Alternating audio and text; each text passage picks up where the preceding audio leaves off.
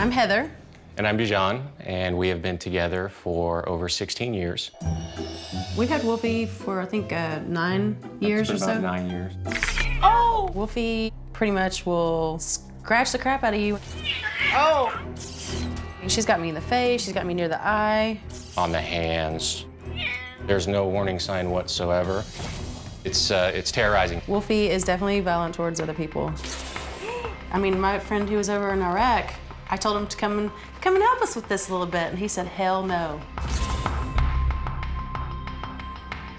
Wolfie is stalking them. She's almost like just a little serial killer, just mm-hmm. waiting out there in the dark. It's ridiculous. I love Wolfie because she's so bad and we're so similar.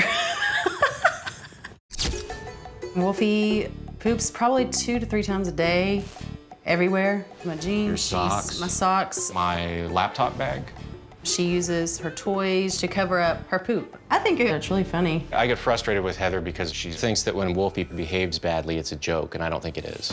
I feel a little bit of resentment for Heather's behavior sometimes. She's just like my little cat best friend. I love you, honey. We're pretty. See, we're pretty together. There's gonna have to be a change. We can't go on like this.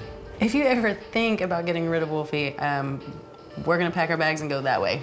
I'm gonna go with her.